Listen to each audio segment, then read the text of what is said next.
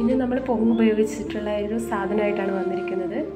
കുട്ടികൾക്കൊക്കെ ഇഷ്ടപ്പെടുന്ന തരത്തിൽ നമുക്ക് വളരെ പെട്ടെന്ന് തന്നെ തയ്യാറാക്കുന്ന ഒരു ഐറ്റമാണിത്. ഒരു പൊങ്ങ് ഡെസേർട്ട് ഉണ്ടാക്കി നോക്കാം.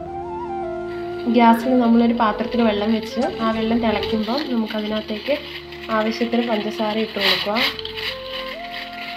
എന്നിട്ട് നന്നായിട്ട് ലയിപ്പിച്ചെടുക്കുക ഇപ്പോൾ നമ്മൾ പഞ്ചസാര നന്നായിട്ട് ലയിപ്പിച്ചെടുത്തിട്ടുണ്ട്. ഇനി നമുക്ക് ഗ്യാസ് ഓഫാക്കാം. ചെറുതായിട്ട് മുറിച്ചിടാം.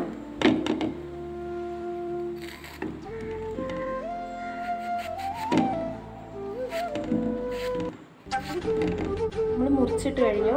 മുറിച്ചിട്ട് കഴിഞ്ഞിട്ട് നമ്മൾ നേരത്തെ ഉണ്ടാക്കി വെച്ച പഞ്ചസാര ലൈനി ഇതിന്റെ മുകളിലേക്ക് ഇങ്ങനെ ഒഴിച്ചു കൊടുക്കുക. നന്നായിട്ട് ഒഴിച്ചു കൊടുക്കുക.